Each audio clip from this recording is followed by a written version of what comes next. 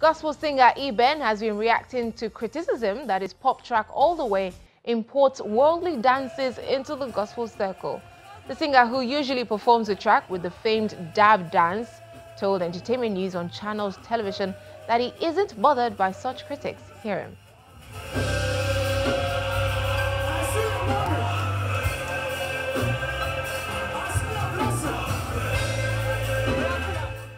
You know, we are all at a different level of understanding. I mean, everybody is entitled to their opinion, but as as long as you know that you know that what you're doing is in line and it, it, it does not offend humanity, but it helps humanity, um, stick to your guns, man. Standing there. I didn't get here by being uh, driven by the wind.